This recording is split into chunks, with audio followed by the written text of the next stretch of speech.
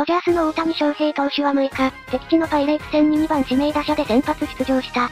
初回の第1打席では右直が右前田に判定が変わる珍しい一打があった。初回無視一塁、サワンファルターからライナー性の打球を右前へ。ダイビングキャッチを試みた右翼オリバレスのグラブに収まったとして一度はアウトとなったが、ドジャース側はチャレンジを要求。すぐに判定は右前田に覆った。パイレーツ首脳陣も抗議のためにグラウンドへ。球場も騒然となった。結果的には大谷の2試合連続安打となり、無視1、二塁にチャンス拡大。フリーマンの右声の先制3ランを演出した。敵地での3連敗スイープ阻止へ、幸先のいい先制劇となった。今日はいけそう。大谷も上がってきた。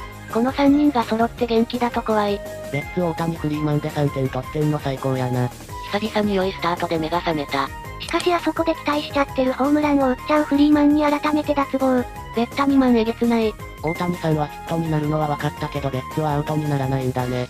恥ずかしながら全く野球のルールわからなかったわ。初回から打線爆発。たった3人で3点取るドジャース打線半端ね。MVP トリオで繋がりましたね。打線エグい。